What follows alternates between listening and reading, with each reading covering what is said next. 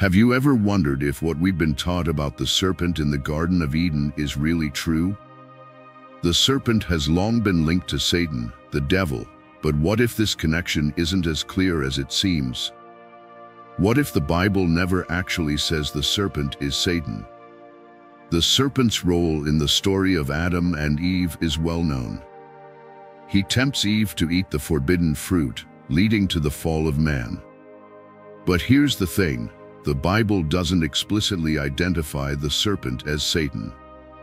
So, how did this idea become so deeply ingrained in Christian thought? The story of the serpent in Genesis 3 is one of the most famous narratives in the Bible. However, when we examine the text closely, we find that there is no direct mention of the serpent being Satan. This raises questions about how this interpretation came to be and what it tells us about the development of religious beliefs.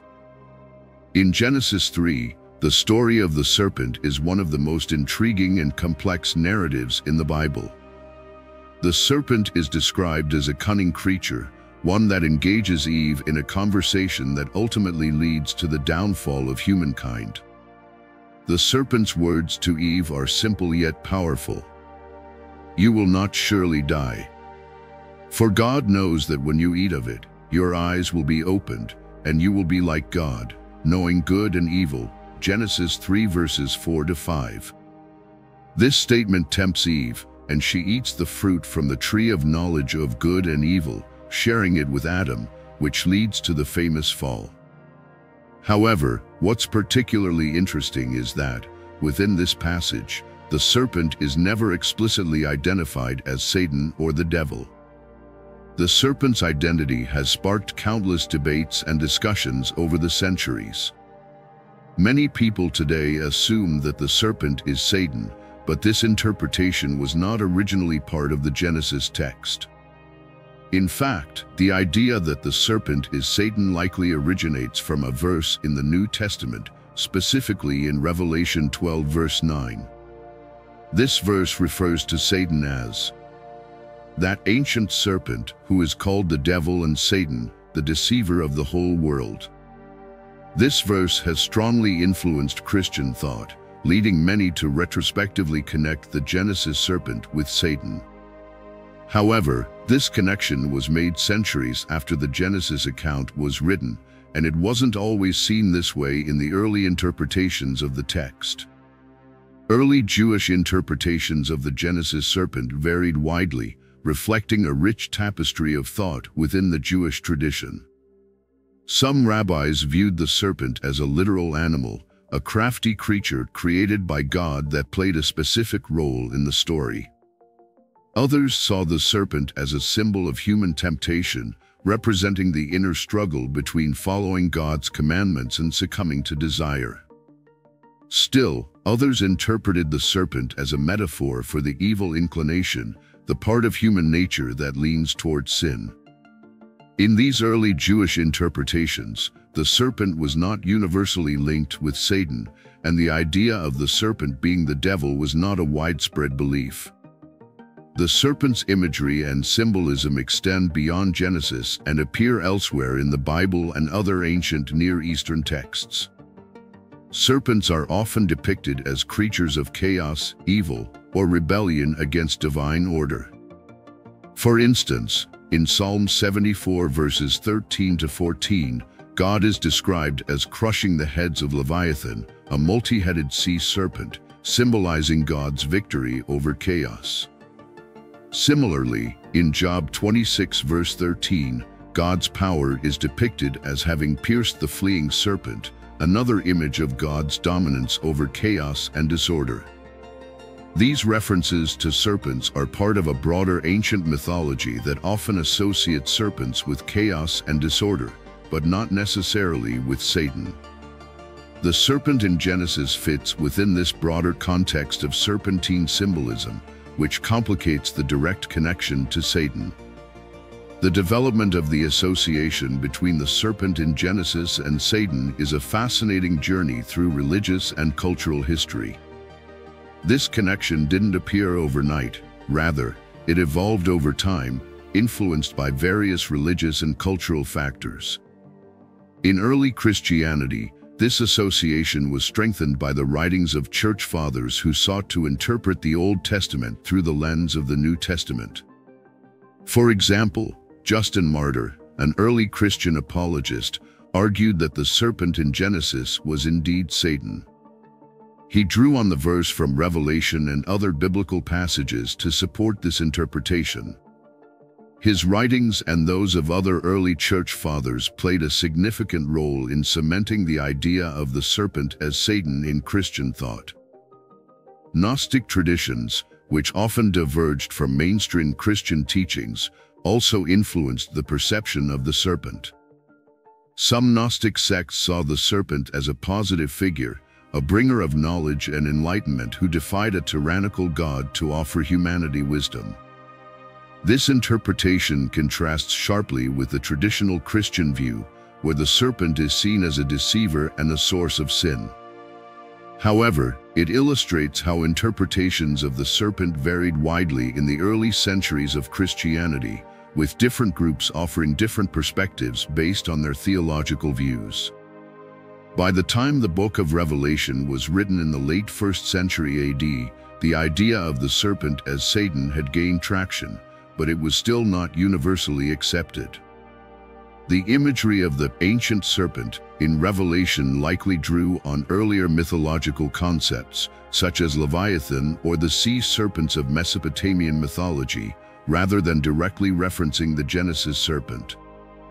These earlier mythological images of serpents as chaotic and malevolent beings provided a framework for understanding the serpent in Revelation, but they didn't necessarily link directly back to the Genesis narrative.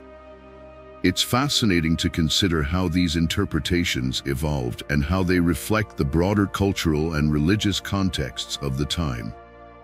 The early church was heavily influenced by Jewish traditions, but it also absorbed ideas from Greco-Roman culture, Gnosticism, and other religious movements.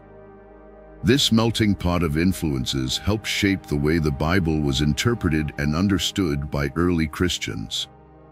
Over time, the identification of the serpent with Satan became more common, especially as the Christian doctrine of original sin developed. This doctrine, which held that humanity inherited sinfulness from Adam and Eve's disobedience, reinforced the idea of the serpent as a malevolent force aligned with Satan. As we explore these different interpretations, it becomes clear that the identification of the serpent with Satan is not as straightforward as it might seem. The connection developed over time, influenced by various religious and cultural factors, and was not originally part of the Genesis text. This evolving interpretation invites us to question other long-held beliefs and to explore the Bible with fresh eyes. What other interpretations might we uncover if we look beyond the traditional readings? How might this deepen our understanding of the text and its relevance to our lives today?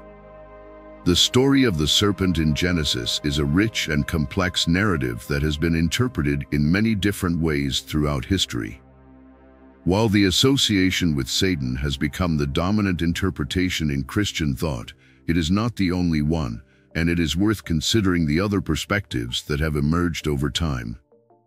By doing so, we can gain a richer and more nuanced understanding of this ancient and powerful story. So, what does all of this mean for our understanding of the serpent in Genesis? It suggests that the identification of the serpent with Satan is not as clear-cut as many might believe. The connection between the serpent and Satan developed gradually over time, influenced by various religious and cultural factors, and was not part of the original Genesis text. This realization challenges us to rethink some long-held beliefs. If the serpent in Genesis wasn't originally seen as Satan, what else might we be misunderstanding? The Bible, after all, is a complex text with layers of meaning. Over the centuries, interpretations have shifted, influenced by historical context, theological debates, and cultural changes.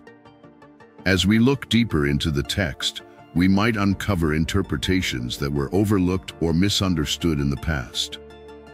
Exploring these alternative interpretations can deepen our understanding of the Bible and its relevance to our lives today. It encourages us to approach the text with fresh eyes, questioning what we think we know and being open to new insights. For example, if the serpent in Genesis is not Satan, then what does the serpent represent? Could it symbolize something within human nature, like temptation or the struggle between good and evil?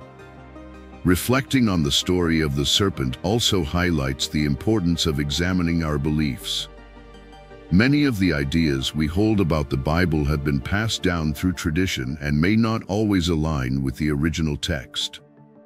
By being open to new perspectives, we can gain a fuller understanding of the Bible's teachings and how they apply to our lives. The serpent in Genesis is a mysterious and enigmatic figure that has been interpreted in many different ways throughout history. While the association with Satan has become the dominant interpretation in Christian thought, it is not the only one. By considering other perspectives and questioning traditional interpretations, we can gain a richer and more nuanced understanding of this ancient and powerful story. This journey of exploration and discovery allows us to connect more deeply with the text and appreciate the Bible's wisdom in a new light. Thank you for joining us on this fascinating journey. If you found this video enlightening, please like, share, and subscribe to our channel for more insights into biblical stories and their hidden meanings.